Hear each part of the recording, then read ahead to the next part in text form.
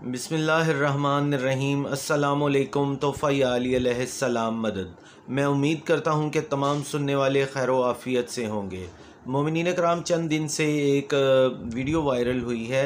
London में एक तकरीब मनद की गई जिस तकरीब को इमाम हुसैन टीवी से नशर किया गया और इस तक, इस तकरीब के जो मेज़बान थे वो अम्मार नक्शवानी साहब थे और इनके साथ साथ दीगर वाइजीन और मीर हसन मीर साहब को भी मदू किया गया था।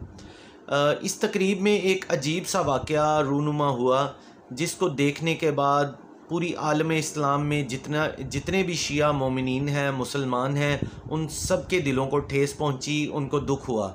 वो वाक़ क्या था, मैं आपके साथ बयान करना चाहता हूँ, और उसकी वजाहत भी बाद में मैं करूँगा कि मीर हसन साहब ने उस पर क्यों माफ़ी मांगी।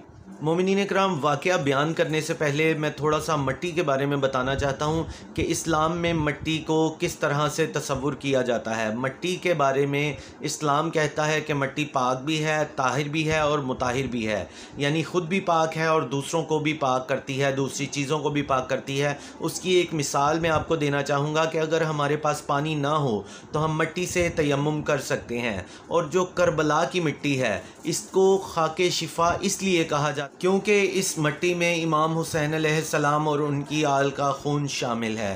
इस मट्टी को खाने से शिफा मिलती है। और सबसे बड़ी बात, जब मोमिन इस दुनिया फ़ानी से जाते हैं तो यही मट्टी हमारी कब्र में, हमारे साथ रखी जाती है। और जब खाके शिफा को नीलामी के लिए इस तकरीब में पेश किया गया तो उसी दौरान मीर हसन मीर साहब भी तशरीफ़ ले आए। जबकि उनका ये कहना है कि वो अपने दोस्तों से मिल रहे थे, उनको इस बात का कोई भी इल्म नहीं था। जब लोगों की तरफ़ से गम गुस्से का इजहार हुआ तो मीर हसन मीर साहब ने इस पूरे वाक़े की वजाहत की और से पूरी कौम से माफ़ी मांगी और उन्होंने इस बात की वजाहत की कि उनको इस वाक़े का कतन इल्म नहीं था कि इस तकरीब में ये सब होने वाला है। मोमिन कराम अगर आपको आज की हमारी वीडियो पसंद आई है तो हमारे चैनल को लाइक करें, शेयर करें और कमेंट करके हमें ज़रूर बताइएगा कि आज की वीडियो आपको कैसी लगी और साथ ही साथ चैनल को भी ज़रूर सब्सक्राइब कीजिएगा।